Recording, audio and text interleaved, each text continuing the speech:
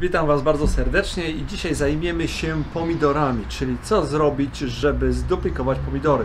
Kupujemy 10, 12, 22 krzaczki jak zrobić z tego 20 czy 44 krzaczków, żeby zapłacić mniej. I pokażę Wam dzisiaj bardzo szybką metodę na to, jak to zrobić. Zostańcie ze mną.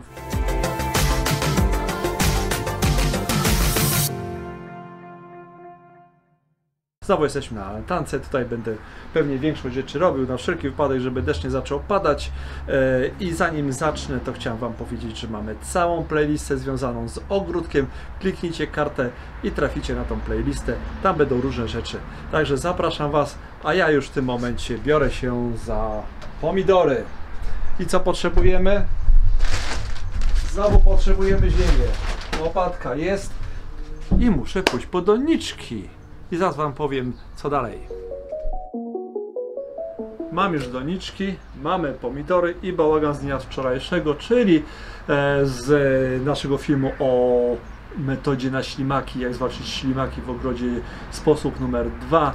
Też kliknijcie kartę, zobaczcie jak my walczymy ze ślimakami. I to jest już drugi film, a jeszcze planuję trzeci film, żeby podzielić się z Wami metodami naszymi ekologicznymi, zdrowymi, naturalnymi, jak zwalczyć szkodniki w ogródku. Mamy dwa rodzaje doniczek i mamy pomidory. I teraz o co chodzi? Przede wszystkim przesadzamy to, ale tak, żeby jak najgłębiej wsadzić ten pomidor.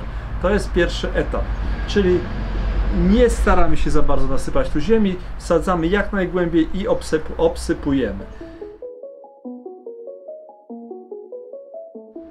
Nasz woreczek z ziemią.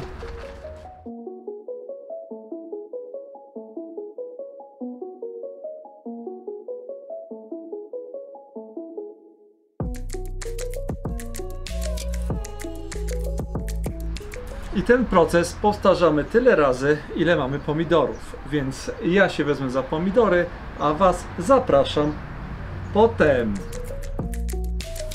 I jeszcze pokażę Wam jak znaczę pomidory jak kupuję. Ale to za chwilę. Albo dobra, od razu. Biorę wykałaczki i wbijam sobie patyczki. Zaznaczam patyczki i wiem, że jeżeli po dwa pomidorki kupię, to w tym momencie każdy jest inaczej oznaczony z danego gatunku. Przy czym nagrywam jaki patyczek na kamerce, w której jest, w którym miejscu jest wetknięty. Czyli jakiego koloru będzie później pomidor, bo sprzedawca mnie o tym informuje. Remis, czerwona wykałaczka połówka, krakus bez koloru, to teraz damy barona i będzie, będzie długa wykałaczka czerwona. Poprawka baron będzie długa wykałaczka biała. Malinowe, krótkie wykałaczki zielone. Podłużne nie mają nic oznaczenia. Okej, super. Nie brązowe to są z kwiatem. Z kwiatem, tak. Także to jest taka moja mała metoda na wykałaczki. Ok, nie będę Was zanudzał. Ja się biorę za pomidory. Wy też możecie wsypać. Chodzi o to, że do pierwszego liścia tylko minimum poniżej pierwszego listka, pierwszego odgałęzienia pomidora, do tego momentu sypie- syp- sypiemy ziemię, a potem zobaczymy co będzie dalej. W najbliższych dniach Wam pokażę.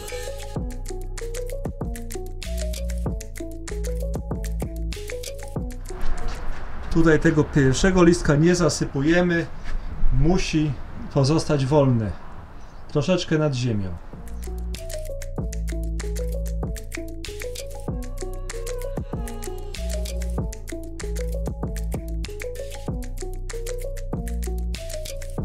Witam wszystkich w kolejnym etapie, to już jest trzeci etap. W pierwszym kupowaliśmy pomidory, w drugim sadzaliśmy w duże doniczki, no i teraz przyszedł czas na rozsadzanie. Nie wszystkie pomidory są gotowe, ale ponieważ trzeba korzystać już z możliwości tych pomidorów, które są gotowe, w związku z czym jeden jest taki gotowy, więc już Wam pokażę, abyście mogli sami wziąć się za rozsadzanie.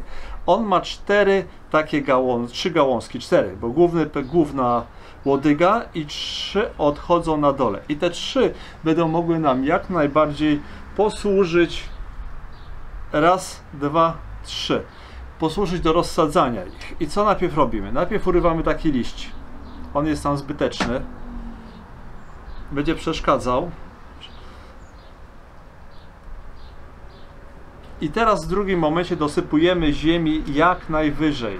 Jak za tą łodyżkę schowamy w ziemi, ona zacznie puszczać tutaj korzonki. Już kilka razy mi się zdarzyło, że właśnie taka odyga zasypała się w ziemi przy normalnym pomidorze i wziąłem myk ją oderwałem, patrzę, a ona ma korzonki. Czyli jak najwyżej staramy się zasypać i dzięki temu będziemy mieli do, z jednego krzaczka pomidorów 4 i, dzięki temu średnio statystycznie krzaczek nie kosztuje na 4 zł, a jedną złotówkę.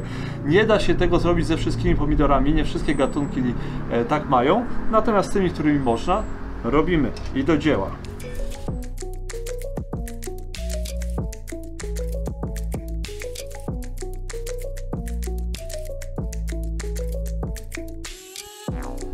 Od razu taki krzaczek podlewamy.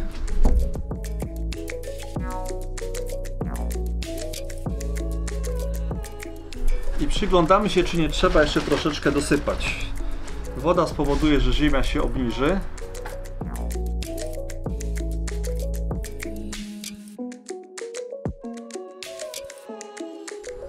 Możemy trochę rozchylić te gałązki. I znowu podlewamy.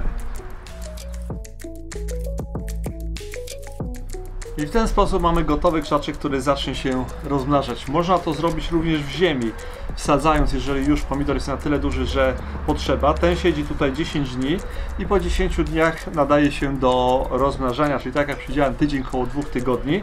E, Poza nim jeszcze tam ze 2-3 już znalazłem. Niestety jest zimno i dzisiaj sprawdziłem na termometrze, mamy 17 stopni. Ten maj jest naprawdę zimny. No ale co zrobić? Nic się nie da zrobić w związku z tym. Chociaż jest to wolniej, bo już powinny być te wszystkie krzaczki większe.